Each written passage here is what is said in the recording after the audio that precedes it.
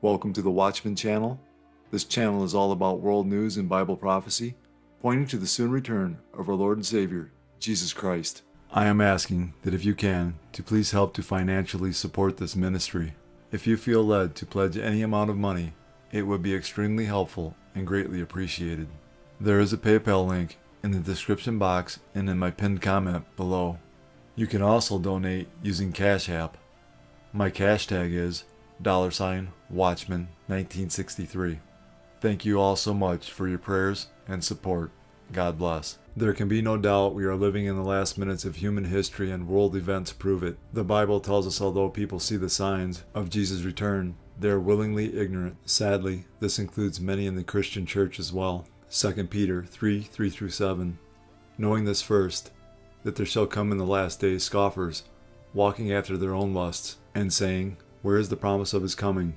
For since the fathers fell asleep, all things continue as they were from the beginning of the creation. For this they willingly are ignorant of, that by the word of God the heavens were of old, and the earth standing out of the water and in the water, whereby the world that then was, being overflowed with water, perished. But the heavens and the earth, which are now, by the same word are kept in store, reserved unto fire against the day of judgment and perdition of ungodly men. Jesus said, as a sign of his coming and the end of the age, there would be an increase in deception, false Christs who will deceive many, wars and rumors of wars, nation against nation and kingdom against kingdom, famines, pestilences, earthquakes, Christian persecution, apostasy, false prophets, and lawlessness causing the love of many to grow cold. Jesus said all of these signs would come like birth pains. Jesus was likening last days events to a woman in labor. As the labor progresses, the pains increase in both frequency and intensity until the baby finally comes. As we get closer to Jesus' return, all the signs he gave us as a sign of his coming and the end of the age will become more frequent and more intense.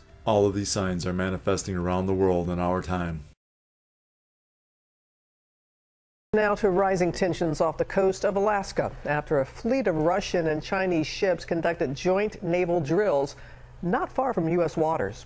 Our chief global affairs correspondent, Martha Raddatz, is in Washington with the latest. This was a very large fleet of ships, nearly a dozen, from two of our main adversaries coming close to American waters. The U.S. response to these joint Chinese Russian exercises was immediate, the Navy dispatching four U.S. warships and reconnaissance aircraft to shadow those Chinese and Russian vessels. The Chinese and Russian warships did stay in international waters, but having those joint patrols was most certainly provocative, highlighting the growing cooperation between those world powers at a time of increasing tension with the U.S. over Taiwan and, of course, the war in Ukraine. All right, well, China and Russia conducting a joint naval operation, bringing 11 ships near the coast of Alaska last week. The U.S. mobilizing four destroyers and patrol planes in response to guide the ships away from U.S. waters. The Wall Street Journal editorial board writing, quote, the naval patrol is best understood as a warning that U.S. territory isn't safe, as well as a test of how the U.S. will respond. The world is getting more dangerous, and a complacent U.S. political class isn't educating the public about the growing threats. Gordon, it's great to see you, and I think the editorial board at the Wall Street Journal summed it up pretty nicely there. Well, certainly, because we have to assume that if there's going to be a war in Asia, and Henry Kissinger tells us it's probable, then we're going to be facing not just China, but also China's friends, specifically Russia and North Korea. And the Wall Street Journal is right. We have a political class that is complacent, has very little sense of urgency. You know, we're on the edge of war. And the Biden administration refuses to fill the strategic petroleum reserve, which it drained last year. So I don't know how this gets more dangerous. The Chinese can see it. And I think they're going to try and take advantage of the situation. The Chinese view the war in Ukraine as not a war between Ukrainians and Russians primarily, but as primarily a proxy war a proxy war between China and the United States. So we better win this. And if we leave Russia in control of Ukrainian territory, that's a big green light for Beijing's territorial aggression in East Asia. What do you think uh, is the Biden doctrine here, if there is one. Uh, when you look at all of the advances that China has made that have gone uh, without a response, you look at those silos that were built in the Chinese desert capable of carrying nuclear weapons, there was basically no response. We had the joint naval exercises between the Russian Navy and the Chinese Navy that there was no response. Now they're expanding that uh, off of the coast of Alaska. So what are we supposed to do here where, again, bit by bit, Russia gets tighter with China, China benefiting from this extension of the war, and America, time and time again, uh, seems to ignore this? Well, first of all, the President of the United States needs to have a candid conversation with the American people, saying that, look, China's Xi Jinping is readying the Chinese people for war. He's mobilizing all of Chinese society, not just the military, and that the United States needs to prepare. And your point about uh, nuclear weapon silos, we've got to remember that Chinese doctrine is to threaten to use nuclear weapons to prevent the United States and others from coming to the uh, aid of Taiwan, Philippines, Japan, whatever. So this is not necessarily going to be a conventional war, and President Biden needs to ready the American people. Gordon, you brought up um, this issue about you know China potentially invading parts of Asia. We're talking about Taiwan specifically. Chinese state media releasing a new eight-part TV documentary series about its army's ability to attack Taiwan, and it reportedly shows drills simulating precision strikes against Taiwan and dozens of soldiers pledging to give up their lives if needed in a potential attack against Taiwan. So we've discussed this many times. Um, your reaction to that and the potential for this to happen reasonably soon? On the reasonably soon point, we've got to remember that on Saturday, this Saturday, uh, the United States issued a warning to China that it, we were prepared to use force against China at Second Thomas Shoal in the South China Sea. That's the Philippines. You know, this documentary um, is again preparing the Chinese people for war. And it can be Taiwan, but it could be Japan or it could be some other country. The Chinese regime, because of problems at home, which are actually becoming more and more severe, um, has an incentive to rally the Chinese people with conflict abroad. And that means this is a regime that can take us by surprise because we Americans think we're at peace. But the Chinese believe that this is a war situation. And by the way, they're exercising with their friends, the Russians, as you just pointed out. And we've had these increasingly provocative statements from North Korea over the last couple days regarding Taiwan. Mm. It does look like there will very well be a war, as Kissinger has said. So, no, the Biden administration is clueless right now. They think they're at peace. And unfortunately, that's not the way the many people in the world, including aggressors, view the situation. I believe God has raised up Joe Biden for such a time as this. I believe God is using Joe Biden as judgment on the United States of America. Since Biden took office, every kind of evil has run amok. God will use anyone he chooses to fulfill his purpose. And I believe that purpose for Joe Biden is the destruction of America. Russia launched more than 70 missiles and drones at Ukraine overnight in one of the biggest assaults in recent weeks, an escalation of force after two Russian ships were hit and damaged by drones in the Black Sea. Ukraine's Air Force said at least 10 of Russia's 70 missiles and drones evaded its defenses a blood transfusion center in northeast Ukraine, and a grain silo and military airfield west of the capital, Kiev, getting hit. It's Russia's likely reaction to this dramatic first on Friday. Ukraine's military claimed its sea drones hit a commercial Russian port on the Black Sea and this vessel, believed to be a Russian warship. Crippled and listing to one side, it was towed home to a naval base. Satellite imagery appearing to show it leaking oil, contradicting Moscow's claim it successfully thwarted that attack. Port strikes have become the new battlefield, with Russia hitting two minor Ukrainian ports in the past two weeks, and its biggest port of Odessa the week before that, all forcing global grain prices higher. As drone attacks have ramped up too, targeting both Moscow and Kiev, damaging buildings in both capitals in the past several days. In Odessa, the city's most important Orthodox cathedral is starting an estimated five years of repairs after a Russian missile exploded through its roof in July. Can Vladimir Putin be called a true Christian? Of course not. I don't even have to think about it, because Christians don't kill others. They help each other.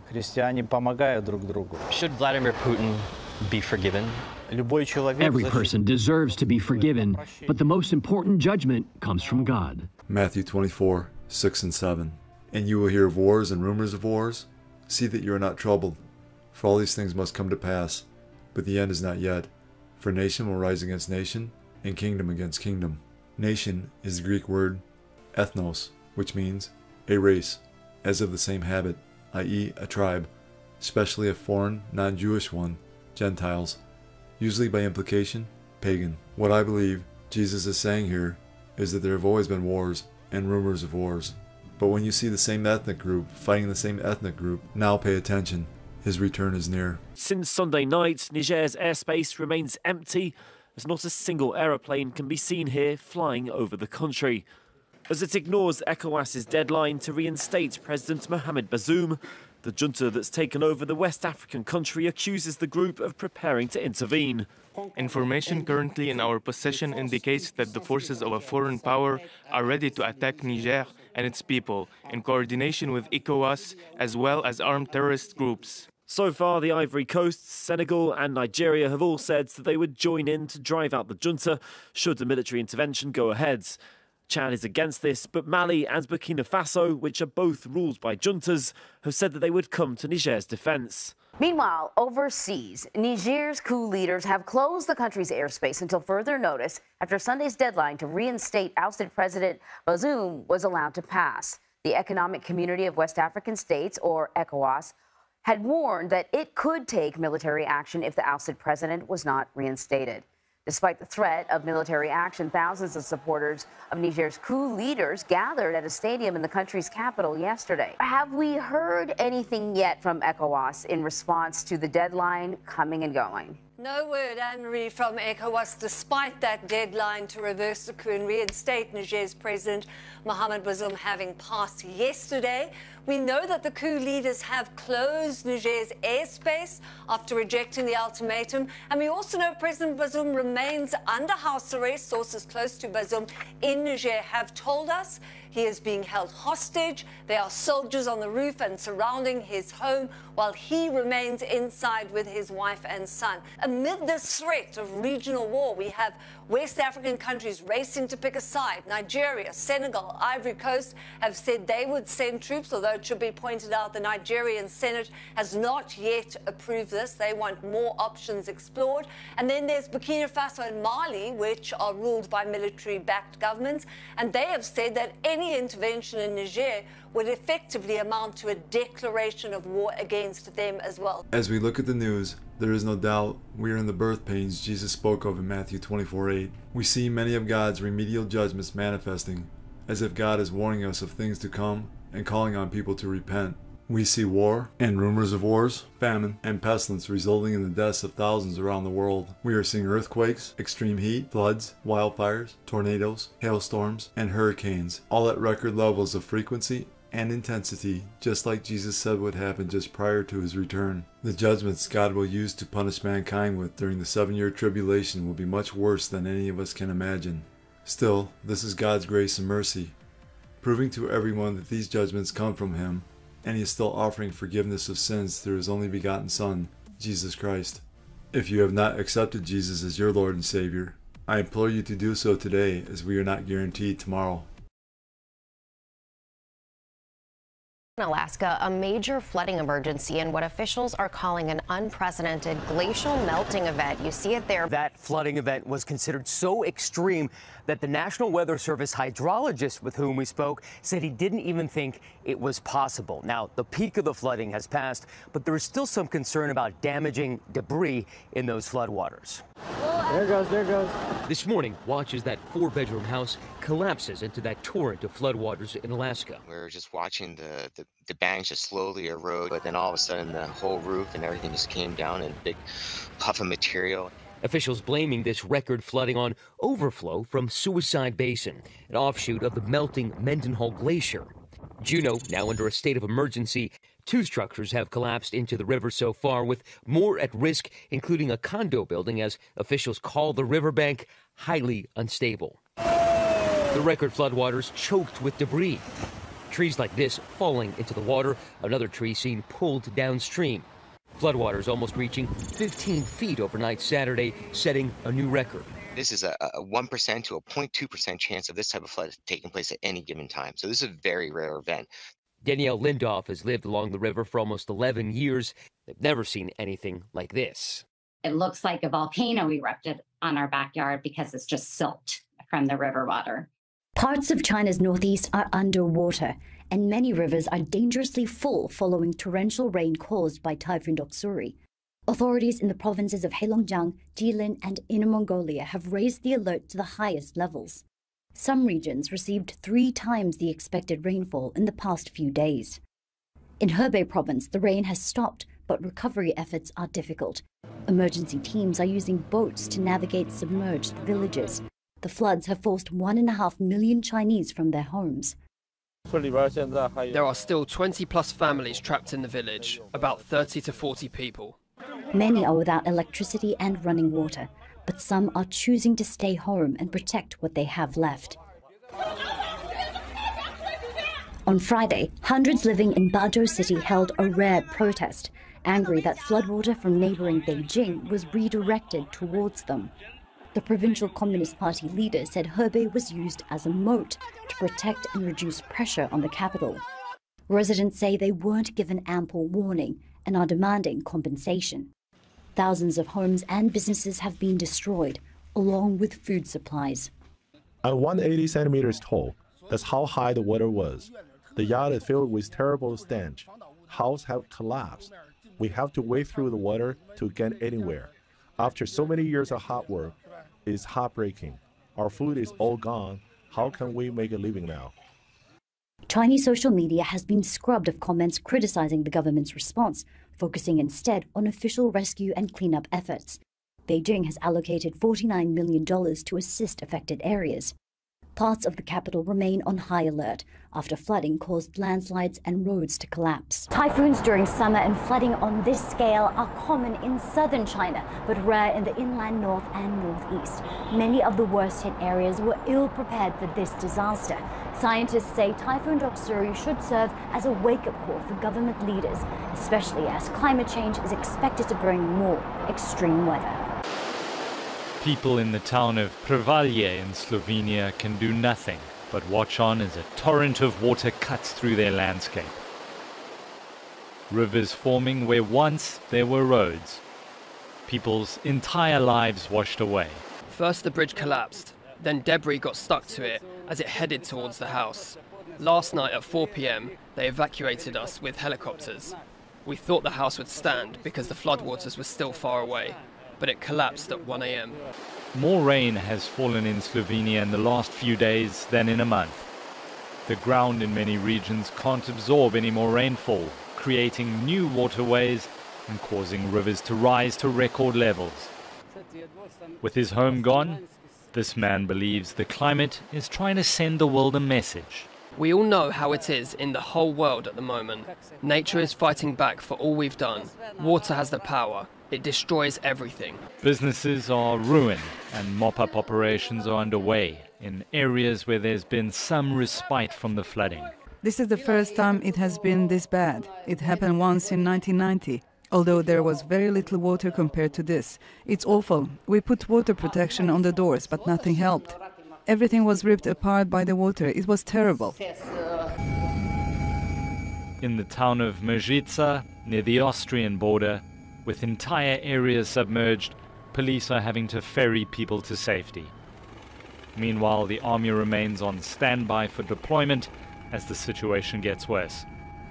Slovenia's Environment Agency has issued a warning for yet more flooding. We are living in a time Jesus refers to as the birth pains. God, in His grace and mercy, is warning the world of His impending judgment.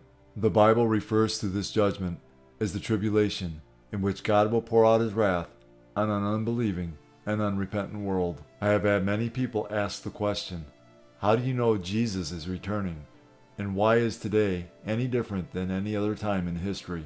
Jesus gives his followers the answer to that question in Luke 21 28.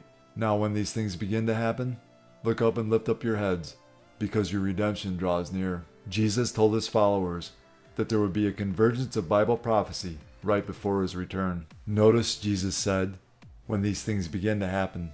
Jesus used the plural word things, meaning when you see multiple prophecies converging at the same time, that his return was at the doors, as we read in Matthew 24 33.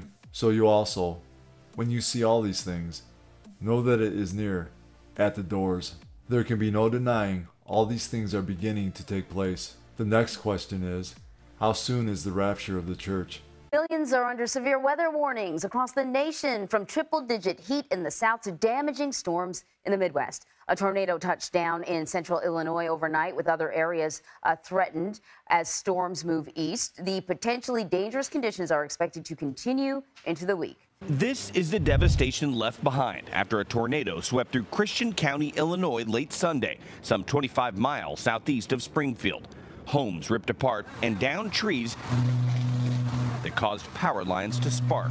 The damaging storms come as the southern half of the nation continues to roast under the summer sun. Texas, Florida, and California are set to endure another day of heat warnings and watches. In Arizona, Phoenix authorities believe heat is to blame after a woman was found dead on a remote hiking trail late Friday, where afternoon temperatures peaked at 115 degrees. Right now, during this heat, just be very mindful of the times you're hiking. In Texas, the excessive heat is causing the price of electricity to surge.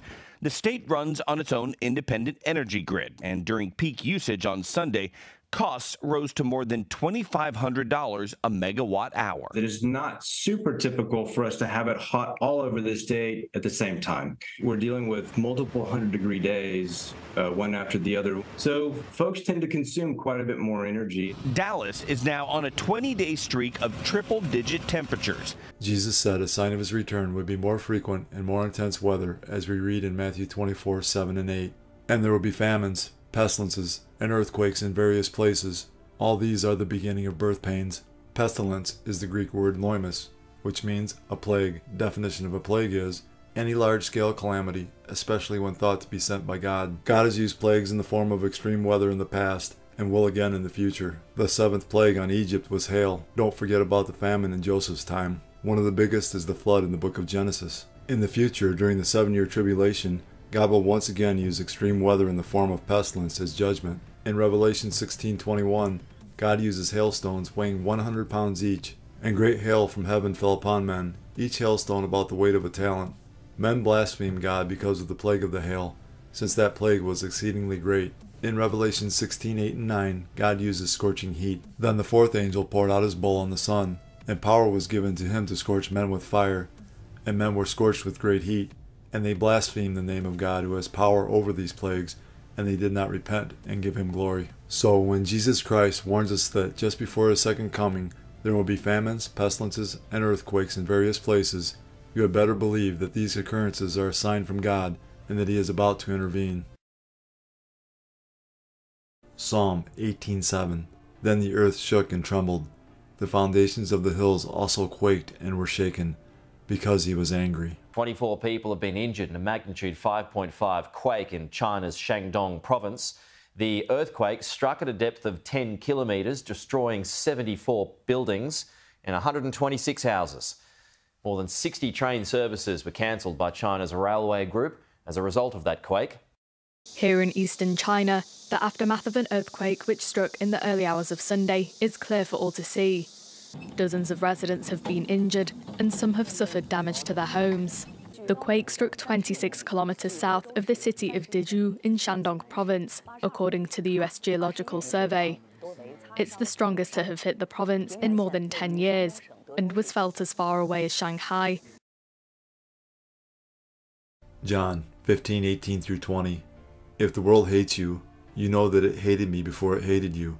If you were of the world, the world would love its own. Yet because you're not of the world, but I chose you out of the world, therefore the world hates you. Remember the word that I said to you A servant is not greater than his master. If they persecuted me, they will also persecute you. Actor, producer, and author Kirk Cameron just wants communities to be able to host pro faith, pro family story hours. We are on a mission to not only take back one hour at a few libraries, but to redeem every minute of every day in every home, library, and every school. We want to spark a genuine, faith filled revival but not if the American Library Association has its way. Cameron's book publisher, Brave Books, found a video where the ALA gives tips to libraries on how to block Cameron's See You at the Library event. Here's a snippet. Right now, um, Brave Books and Kirk Cameron are con- conducting a campaign to take over libraries on August 5th by applying for to use meet, uh, encouraging individuals to apply to use library meeting rooms for Kirk Cameron story hours. So let's look at how you can use that public forum doctrine to construct policies and procedures that will help you keep control of the library yourself Kirk Cameron will not be deterred, and he is in focus now. Kirk, first of all, keep you out of the library. They're trying to keep your positive conservative Christian message out of the library, not you, but they're invi- inviting drag queens to read to stories to children. That's okay. Yeah, th- that's exactly right. Uh, th- this is open intolerance for religious beliefs, and these are good families. This isn't just me. They're look conspiring to deny access to people of faith all across the country to go to their own publicly funded community libraries to read books to their kids.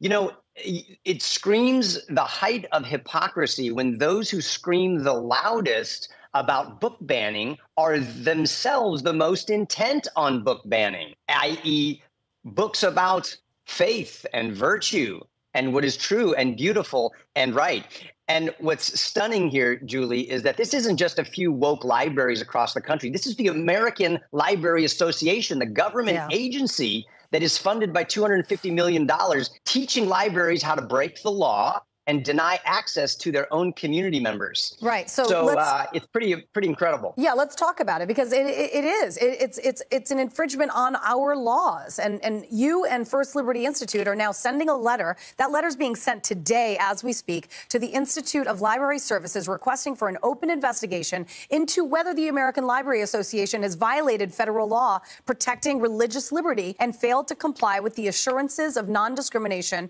required as a federal grant. Back in March, we've got some pictures of you and I. We tried to get in the New York Public Library. We tried to get into any New York Public Library. We weren't allowed. So what did we do, Kirk? We did our reading outside. And we had a, lar- a, large gathering, but certainly not nearly as large as we would have had had we had a proper space indoors. What was the excuse they gave us? Why don't you tell people? Uh, libraries are filled up. And, and then finally, at the last minute, they said, well, we do have a space for you at this little tiny library on the other side of a train track in a part of town where really nobody wanted to go. And so they thought they could just sort of shove us in a corner, put us at the back of the bus, and and that would suffice. Well, obviously it's it's not. This is internal dealings at a much higher level that are looking to openly suppress people of faith. Matthew 5, 10 through 12.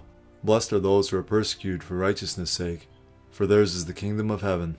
Blessed are you when they revile and persecute you and say all kinds of evil against you falsely for my sake. Rejoice and be exceedingly glad, for great is your reward in heaven, for so they persecuted the prophets who were before you. 1 Corinthians 16:13. Watch, stand fast in the faith, be brave, be strong. The signs of Jesus' soon return are so strong now, and the evidence is so clear that any person willing to accept the truth can see that the end of the world as we know it is near. For God so loved the world that he gave his only begotten Son that whoever believes in him should not perish, but have everlasting life. For all have sinned and fall short of the glory of God. But God demonstrates his own love toward us, in that while we were still sinners, Christ died for us. For the wages of sin is death, but the gift of God is eternal life in Christ Jesus our Lord. That if you confess with your mouth the Lord Jesus and believe in your heart that God has raised him from the dead, you will be saved. These are the ABCs of salvation. A. Admit that you're a sinner. B. Believe in your heart that Jesus Christ died for your sins, was buried, and God raised him from the dead. C. Call upon the name of the Lord, and you will be saved. Jesus paid the price for mankind's sin. He has provided a way to spend eternity with Him and the Father. All you have to do is believe in the Lord Jesus, and you will be saved. God has already done all the work.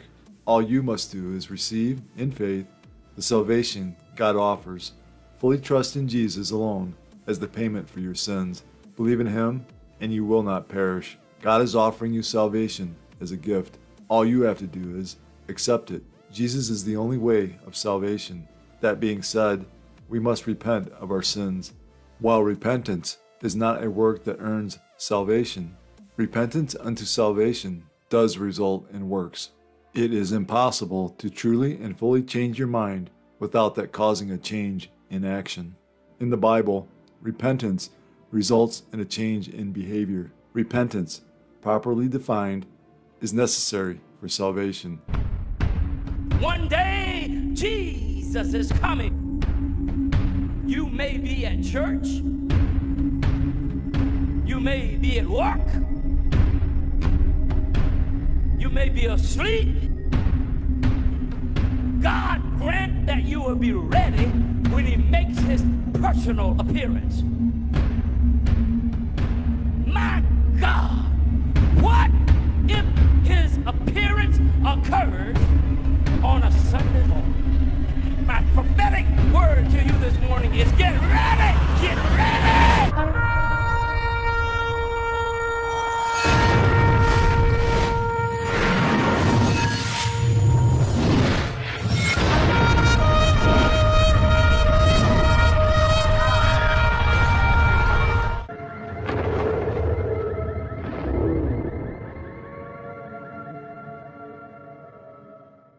Time is short.